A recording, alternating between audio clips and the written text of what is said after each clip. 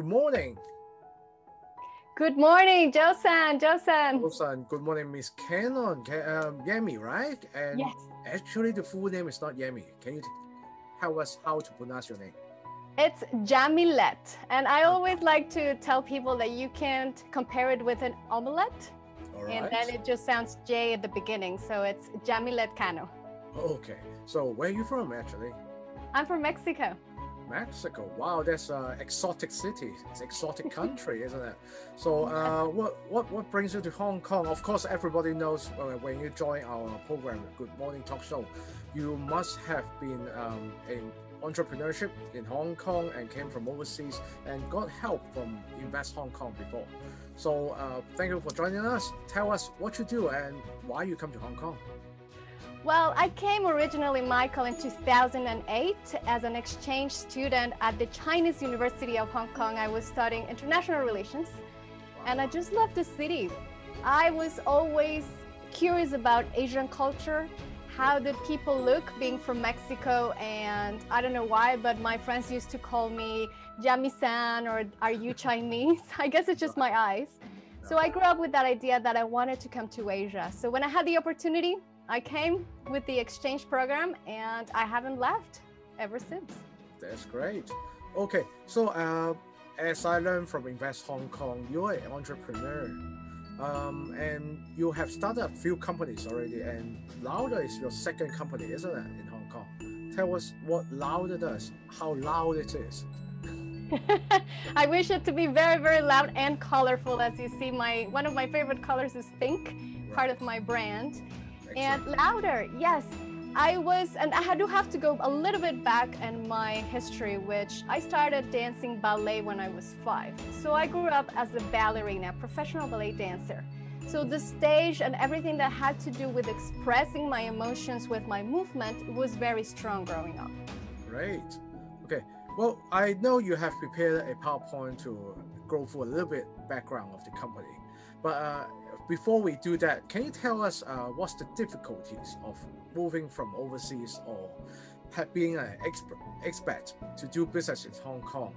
How do you find this is easy, or you find this is there are a couple of uh, different areas that the entrepreneur from overseas should really aware of in Hong Kong? I would say that Hong Kong has been a blessing for me I came without a plan, to be fair. Well, with a plan of, okay, I have this much budget yep. and I'm going to give myself three months. If it doesn't work, what's the worst that could happen? So uh, that would be my first advice for entrepreneurs anywhere in the world. Know that your plan B, the worst thing that could happen, perhaps it's not the, the, worst, worst thing. So for me was, okay, go back to Mexico and perhaps I would have to live with my parents a little bit longer. So it's not as bad as we think. True. So I came without that, and but I came with the openness of meeting people. And Hong Kong has been great for that. I don't believe that every city in the world is like this, mm-hmm. but by networking, you already have one step forward. And then there's obviously organizations like Invest Hong Kong that are there to support you, to give you the guidance, to give you that hand that you need, and to connect you as they did with us. Mm. So I, I would have to say that Hong Kong is, is a blessing for entrepreneurs if you are if you're open to do the work, but also if you're open to not be afraid of speaking up and asking for help. Right. If you don't ask for help, it's, it's difficult for anyone everywhere.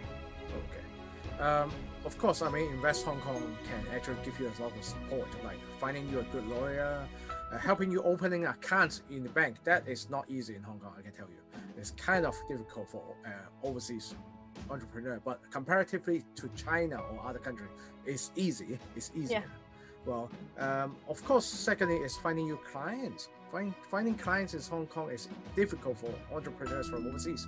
They are new to the country. They need network. They need to know people. Uh, okay, I know your company also do a lot of events. Can you tell us more? Well, this is this is my company Mojo. As I said before, communication with motion, emotion, and impact. A little background on that. A lot of people say that emo emotions give you motion. I want to know. I want to say that it's the other way around. That when you move, you okay. feel, and when you feel, you can showcase a bigger impact in the way that you communicate despite the channel. It doesn't matter if it's written or verbal communication. When we have those feelings and emotions on the paper or the way that we're expressing, people are going to understand the stories better. So that's that's why I like this philosophy of the company. And we already said hello. Thank you for having me today. I'm just going to skip the slides because it's already what we discussed, what we yep. do. I like to use a lot of color to create confidence and to be creative in the process. So everything that we decide to do has to be a little bit of fun because when you're learning, if you're not having fun, we all know that we don't learn as fast and perhaps things don't stick the way that you want it. So this is the team that helps me so much, much more in other fields. So in terms of design, the copywriting, because we put copywriting outside, uh, there's features in magazine or blogs, blog posts. So they are there at the back scene to always help me create this loudness of the brand. And they're also all over around the world. So this is also showcasing how I was able to pivot in a way that not being afraid of not having a team physically with me, I just decided, okay, we are everywhere overseas. Let's make the best out of it in different time zones. So we work with uh, the US and Canada and here in Southeast Asia.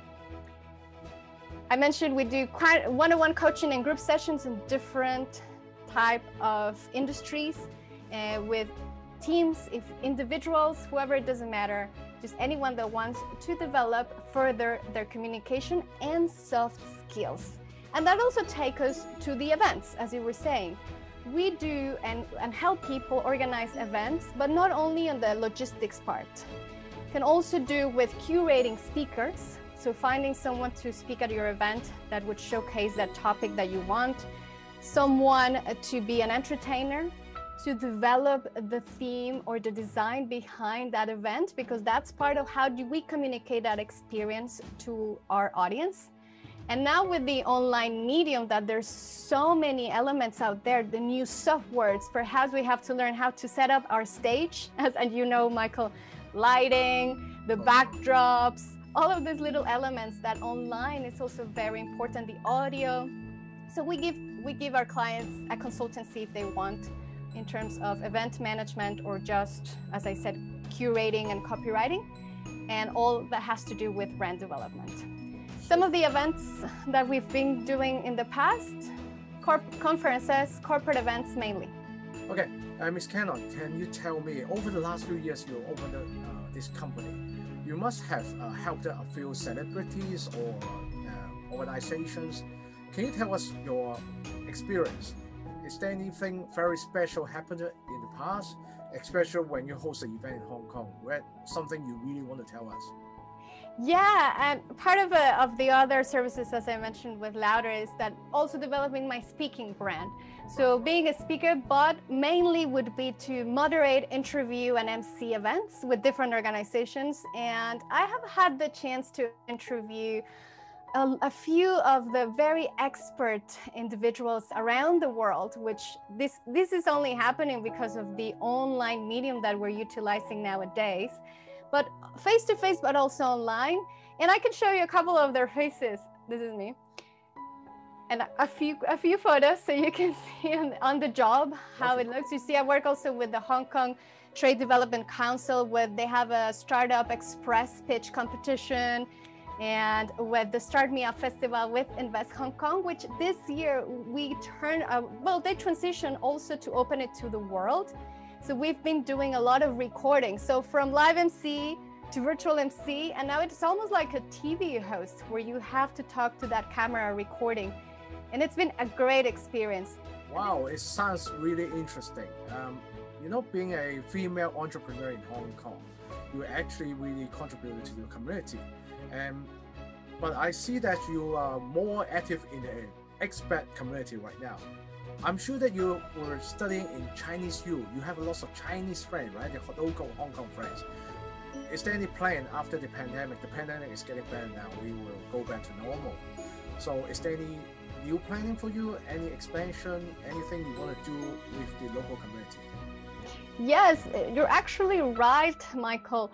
Mm. I do have a lot of local clients it's funny enough that when it comes to collaboration, obviously my biggest collaboration with the local community was the Invest Hong Kong.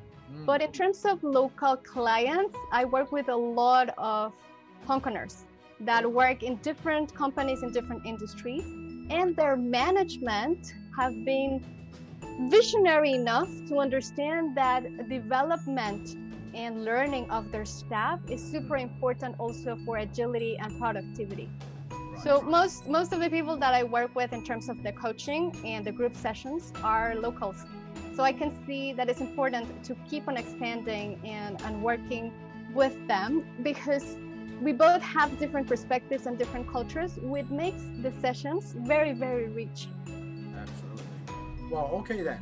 Well, thank you for joining us today and good luck to your business. And I hope I will meet you again later with your new expansion. Thank you. Thank you very much, Ngasai. It's such a pleasure. And see you too. See you. Bye-bye. Bye. Bye.